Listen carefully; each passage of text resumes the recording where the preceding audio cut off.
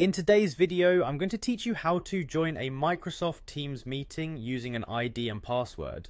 This process is straightforward and will help you connect with your team seamlessly, whether you're working remotely or just need to hop on a quick call. So, let's dive right in. First, you'll need to sign into your Microsoft Teams account.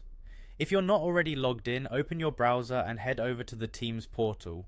Here, enter your login credentials and once you're signed in, you'll be directed to the main dashboard. This is where all the action happens on Teams, and you'll see various options and features on the left side of the screen.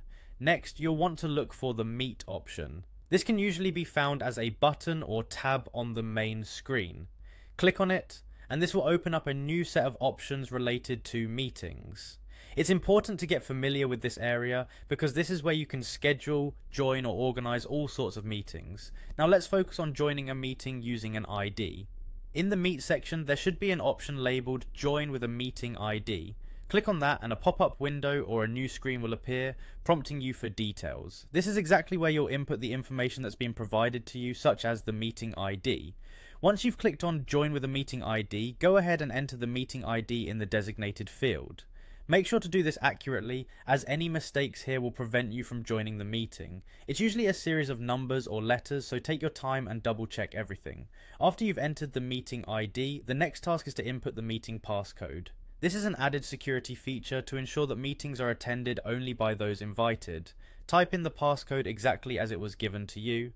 If you're copying and pasting this information, ensure there are no extra spaces, as this might prevent you from logging in successfully. Finally, once both the meeting ID and passcode are entered, you'll see an option to join meeting.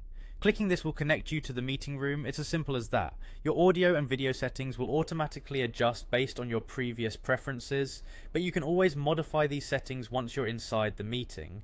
And there you have it, a quick and efficient way to join a Microsoft Teams meeting using an ID and password. This process ensures that you can connect with your team regardless of where you are, keeping communication smooth and effective. Thanks for tuning in and happy meeting.